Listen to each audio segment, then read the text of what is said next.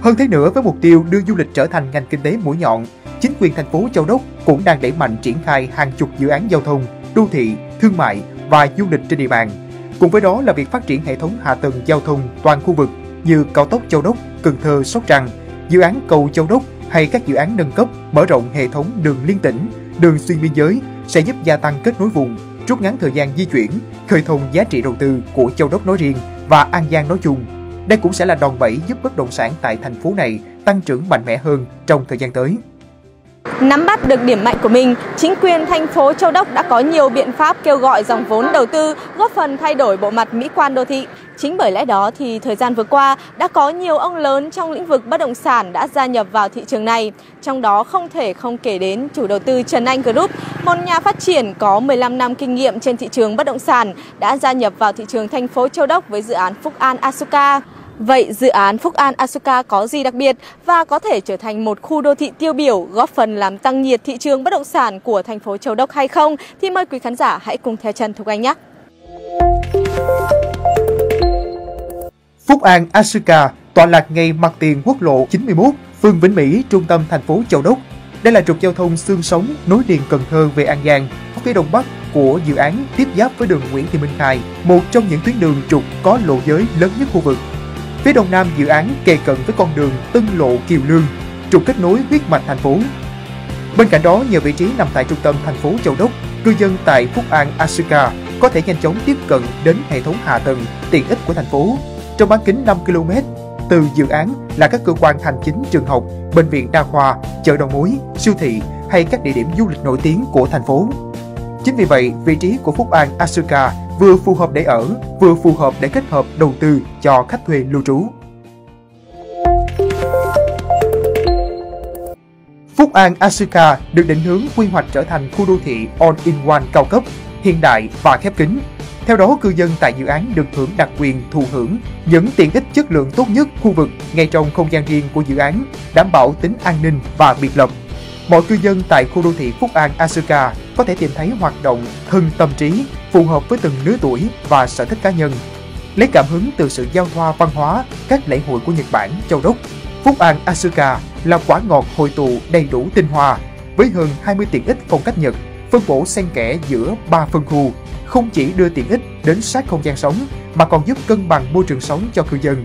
Cụ thể có thể kể đến Clubhouse Yamato, Hồ Cảnh Quan, công viên Kazuko, cầu cảnh quan Quảng Trường Nhật, khu check-in rừng tràm, công viên hồ điều hòa Kiyoko, khu cà phê ngoài trời.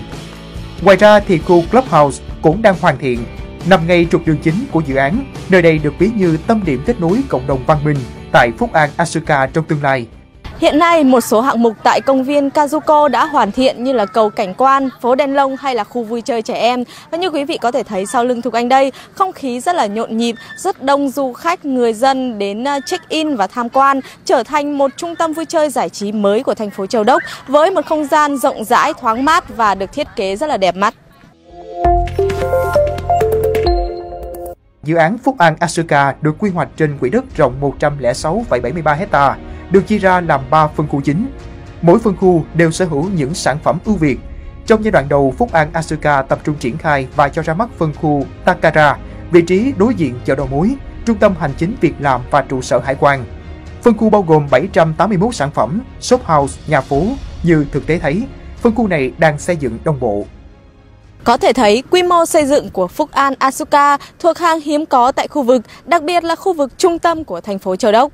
Và khi dự án được hoàn thiện, cư dân chuyển về đây sinh sống thì sẽ thổi một làn gió mới giúp cho khu vực trung tâm của thành phố Châu Đốc ngày một nhộn nhịp và phồn vinh hơn. Bên cạnh đó thì uh, dự án này cũng sẽ cung cấp một nơi lưu trú nghỉ dưỡng đẳng cấp cho du khách và sẽ góp phần làm thay đổi bộ mặt du lịch của khu vực. Theo tìm hiểu của chúng tôi, để sở hữu căn một trệt hai lầu tại Phúc An Asuka, khách hàng cần ngân sách khoảng 3,5 tỷ đồng. Mức giá này nhỉnh hơn giá nhà lẻ tại khu vực khác ở trong thành phố. Nhưng khi sở hữu nhà tại Phúc An Asuka, cư dân được thừa hưởng toàn bộ hơn 20 tiện ích trong khu đô thị, được sống trong môi trường hiện đại, an ninh. Có thể nói, Phúc An Asuka là khu đô thị đa tiện ích phong cách Nhật đầu tiên tại Châu Đốc, có quy mô và vị trí vượt trội. Nếu so sánh với giá bất động sản tại thành phố Long Xuyên, thì con số này lại mềm hơn nhiều lần. À, theo mình đánh giá thì cái dự án Phúc An Osaka này á, là nó nằm ở một vị trí chiến lược là rất là thuận lợi là nó nằm ngay trục đường quốc lộ 91 tuyến tránh N1 á. Cho nên nó rất dễ dàng di chuyển đến các khu vực xung quanh á. Thì mình thấy là cái uh, quy mô ở đây là rất là lớn thì nó đầy đủ các tiện ích uh, nội khu và ngoại khu cũng là điểm đến rất là lý tưởng cho những cư dân hướng đến đây để sống À, về giá bán á, thì mình có tham khảo một số sale thì thấy giá ở đây cũng là rất là hợp lý so với cái thị trường bất động sản ở nơi đây. À, mình nghĩ là tương lai và tiềm năng à, phát triển của dự án là rất là cao và giá nó sẽ có nghĩa là sẽ tăng cao trong tương lai.